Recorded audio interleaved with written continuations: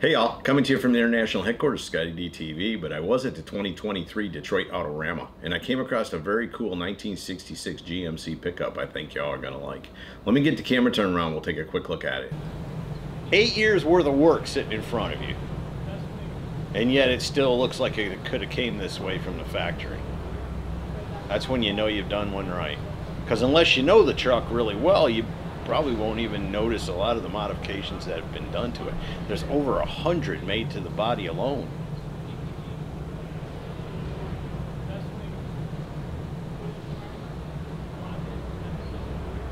Sinful Cinnamon and Light Beige are the colors. And I absolutely love them. And I guess cinnamon, but I see a red. I see a lot of red in it, but I guess cinnamon has red. I don't know. I like it. I like the two-tone. I like how they did just the roof.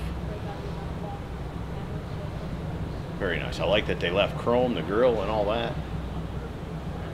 That's all custom, of course. Custom, front to back, custom. Tuck the bumpers, everything. Custom, custom, custom.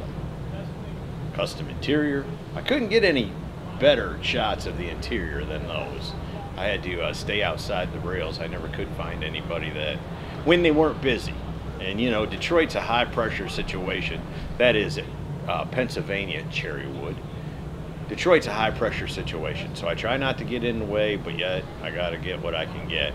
Sometimes I'm more successful at getting good, clean shots than others. And by the time the show opens on Friday, then nuts and butts, that's all you're going to get then. Just people everywhere. So there's no there's there's no perfect time. You have to get the shots when you can. 406 big block. Cleanly installed, nicely finished up underneath there. Custom grill. Custom, custom. Over a hundred body modifications alone. And it looks like it could have came that way. Suicide doors, you know, I mean, those suicide doors, if you don't know the trucks, and I don't know them that well, I got this off the sign. Them doors weren't suicide from the factory, but they are now. Very nice up underneath, all modern technology, chromed out. Good looking truck. I like the stance. And I know they look good when they're up on podiums or up on, you know, some kind of supports. So you can see all up underneath them and all. But man, I'd much rather see them sitting on the ground because you can really see the stance.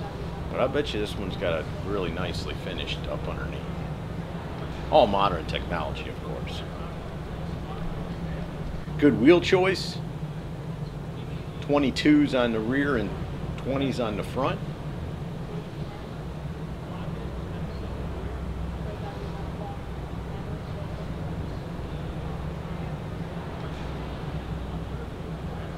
Some information if you want to pause it, read a little more about it.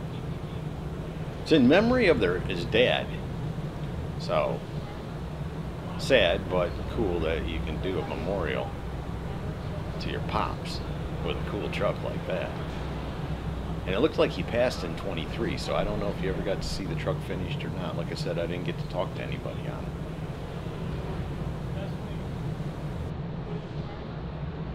So there you go from the 2023 Detroit Autorama, a very cool 1966 GMC pickup truck. Hope you all have enjoyed it. See ya! Hey y'all, make sure you subscribe to this channel and visit scottydtv.com for an easy way to search the hundreds of videos I have posted. Either click the link in the description or the one at the end of this video.